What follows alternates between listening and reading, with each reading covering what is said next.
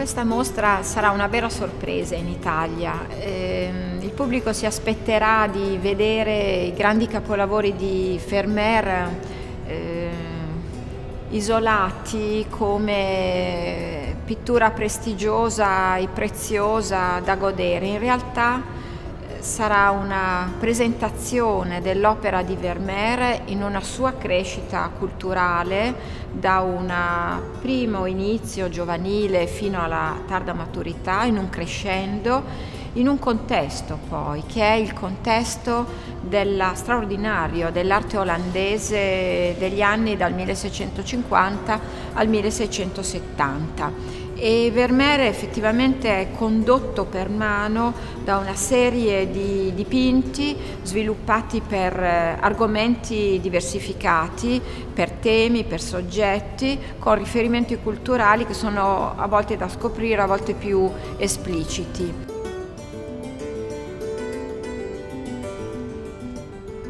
C'è un filo conduttore quindi che è quello dei rapporti che saranno la grande novità della mostra, con l'arte olandese del tempo, con alcuni nomi che diventeranno finalmente familiari tra gli italiani, come eh, Terborco o Peter de Hock, grandi artisti contemporanei che hanno condiviso con Vermeer le tematiche, i soggetti di pittura borghese, la rappresentazione della donna con un certo taglio libero, la rappresentazione della luce, dei valori della famiglia.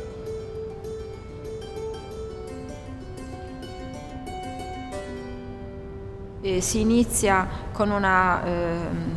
presentazione della pittura di architettura che è stato un fenomeno artistico importantissimo di longhiana memoria, tra l'altro anche nella tradizione critica italiana, da cui si può capire e sarà chiaro anche per il pubblico come l'ottica, lo studio della prospettiva siano pervenuti all'artista eh, non così per caso, ma attraverso una scuola pittorica, una tradizione artistica molto chiara che ha avuto poi dei fenomeni di eh, riacutizzarsi eh, dopo il 1650, quindi proprio nell'epoca in cui eh, l'artista eh, più o meno iniziava la sua, la sua formazione. Eh, la mostra è prima di tutto la possibilità di conoscere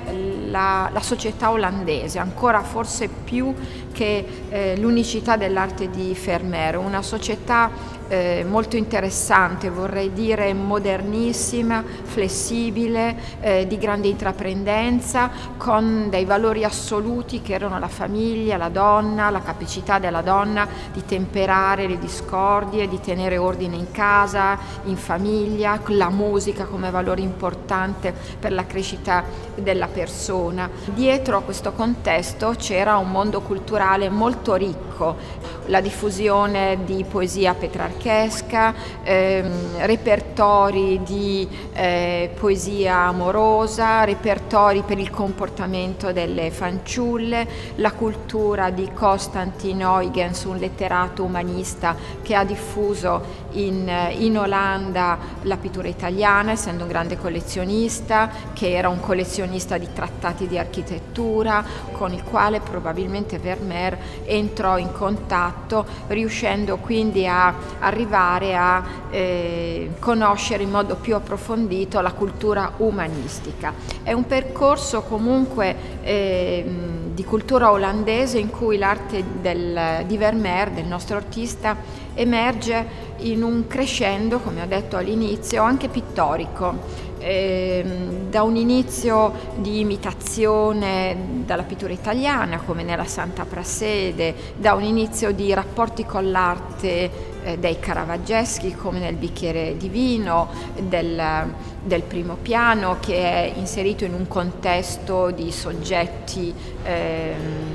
borghesi, della società, della borghesia mercantile eh, del tempo, eh, gradatamente si passa a una pittura in cui Vermeer inserisce un nuovo valore che è l'osservazione eh, precisa dei passaggi di luce, lenticolare, eh, cosa che avviene eh, sicuramente attraverso l'uso della camera oscura e che mm, eh,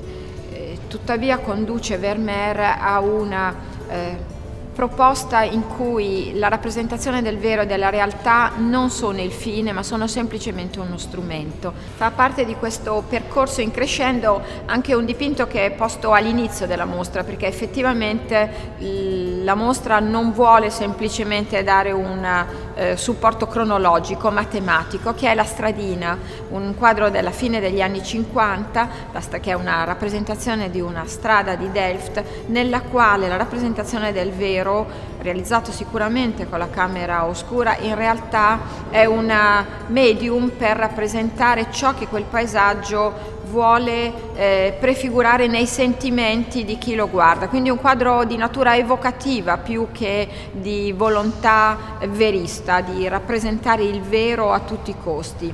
Ehm, questo passaggio graduale comunque ehm, il pubblico lo potrà leggere in modo eh, quasi definitivo nelle opere dell'ultimo piano, in questo crescendo dove eh, la rappresentazione eh, di Vermeer si fa sempre più vicina al vero con la capacità di rappresentare alla perfezione il pulviscolo atmosferico, i colpi di luce che colpiscono eh, le figure in modo anche irregolare, quasi per rappresentare come nella fanciulla col cappello rosso di Washington il eh, gesto veloce di chi si gira mm, portato dai propri sentimenti, ma eh, scorgiamo che nel allontanarsi sempre di più gradatamente dai soggetti eh, all'italiana, dalle mh, mm, iconografie italianizzanti o da temi eh, cari alla pittura italiana, gradatamente Vermeer si avvicina alla universalità della cultura umanistica italiana, cioè riesce eh, attraverso il fatto pittorico della rappresentazione del vero a trasformare il vero in valori geometrici, assoluti, universali, tutto trasfigurato e reso in qualche modo universali, quindi in qualche modo mh, eh, reso astratto per arrivare alle vette di Piero della Francesca o di Raffaello. Quindi la sua cultura si raffinò a tal punto che ehm, gli permise di eh, arrivare a valori universali molto più rispetto ai dipinti iniziali dove i rapporti con l'arte italiana dal punto di vista iconografico sono effettivamente più evidenti. Ed è questo un percorso che è un percorso pittorico ma poi anche un percorso sentimentale che si svolge con l'aiuto e la forza dell'arte olandese del tempo proprio perché il fenomeno Vermeer non è stato un fungo isolato ma ha avuto un continuo, eh, una continua contestualizzazione. E la mostra tra l'altro con grande precisione presenta le varie fasi, quindi la rappresentazione di interni, il ritratto, la musica, ehm, gli interni, tutto ciò quindi per permettere al pubblico di capire facilmente questa pittura e di portarsi a casa un patrimonio che poi per tutta la vita avrà dentro, perché una mostra di arte straniera così completa certo è un fatto molto raro.